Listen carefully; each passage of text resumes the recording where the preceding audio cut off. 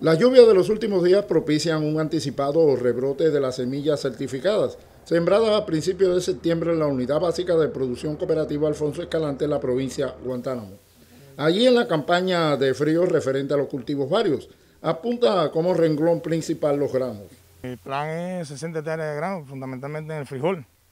Eh, esto va avanzando muy bien, ya hoy tenemos 45 hectáreas sembradas eh, entre domingo y lunes yo pienso cumplir el plan de las 60 hectáreas y queremos sembrarle una 10 hectáreas más eh, frijol para insertar los problemas sociales eh, el autoabastecimiento municipal.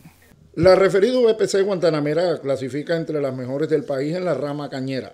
Ante el llamado de buscar diversificación de producciones en el autoabastecimiento del Consejo Popular Costa Rica, responden. Estamos toda la semana vendiendo vianda ahí en el mercado, seguimos sembrando vianda también, yuca, el boniato, ya tenemos las 60 hectáreas de yuca y estamos sembrando también para lograr 30 hectáreas de plátano burro, que es el plan que realmente tenemos en la cooperativa.